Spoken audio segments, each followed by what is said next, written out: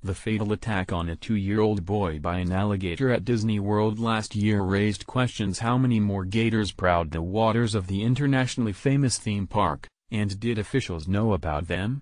Now it's clear that Disney was aware of the problem.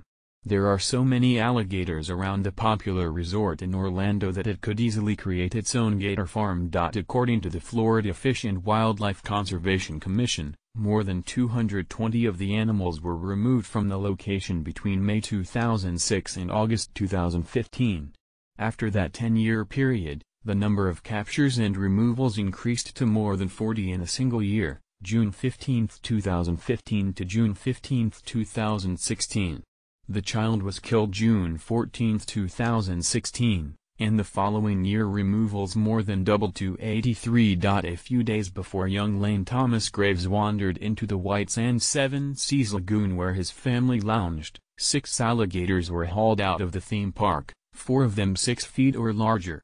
Two days after an 18-hour search finally recovered the child's remains, five alligators were removed from the property. In a park where alligators are common, and a state where 1.3 million gators exist and nearly 16,000 were trapped and removed away from properties near humans in just two years, visitors spoke of the paucity of signs warning of their presence. The boy's parents, Melissa and Matt Graves, who leapt into the lagoon in a failed attempt to free his son from the alligator's jaws, said shortly after the Lane's death that they would not sue Disney World.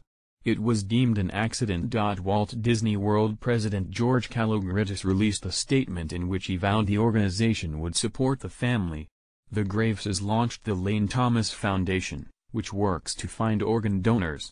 A year after the death, Disney erected a lighthouse statue in the child's honor, drawing on the Foundation's mission to turn its namesake into a beacon of hope. It is our hope that through the Foundation we will be able to share with others the unimaginable love Lane etched in our hearts, the family said in a statement. Legal experts speculated that a lawsuit or court settlement could have been considerable, particularly if Disney officials understood that alligators were a constant presence in its park. And that much is clear.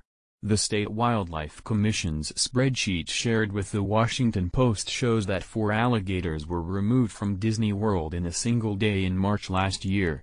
Ten days after that, March 14, seven were caught. On May 10, a little more than a month before the fatal attack, Trappers removed six alligators from Disney World. Walt Disney Parks and Resorts sought and received a target harvest area permit from the Florida Commission that allows it to work directly with a designated FWC contracted nuisance alligator trapper to remove alligators from the property.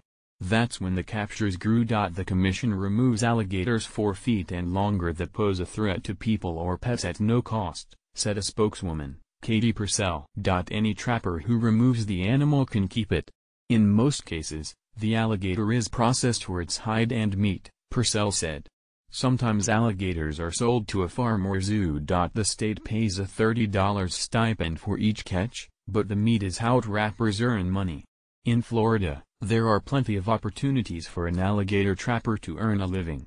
The Wildlife Commission's spreadsheet lists golf courses, apartment complexes, community clubs, water ski outlets, schools and yacht clubs as just a few of the places where trappers have hauled away gators. But few locations compare to the world's most famous park, whose name is sometimes stacked on the spreadsheet, because very often five alligators are pulled out in a single day.